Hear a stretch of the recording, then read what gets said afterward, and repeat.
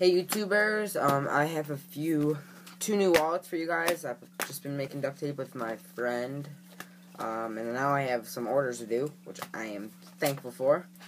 Um, so yeah, let's get started off with this blue plaid trifold outside. It's all blue plaid on the outside, no fold over lines. Folds really nicely and even. On the inside, there's four pockets in the ID, top loader plastic. So yeah, let's get started. One pocket here. Oh, uh, didn't cut very well. One Packet there. Ah. Ah, sorry. Two packets there. Um, three packets right there. And then the fourth one right here. And then the ID right here. Top top loader plastic. Um, here's a top loader plastic right here. And then electric blue billfold. This is going to be like four or five dollars. Or you guys PM me, like you guys can get a good deal on it. Um, and then next is this smallet. I'm gonna start making small again, guys.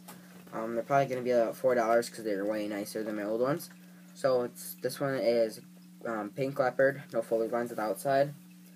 Um, lime green billfold, and then there's three pockets, uh, like a pocket above the ID and then an ID. So one pocket, two pocket, and three pocket, and hidden pocket right here, and then, or a pocket with ID, and then the ID right here. So yeah, it's super nice. It folds evenly and is very thin. So yeah, that's gonna be about four dollars. If you PM me, you can get a good deal. So yeah, guys, thanks for watching, guys, and talk to you later. Bye.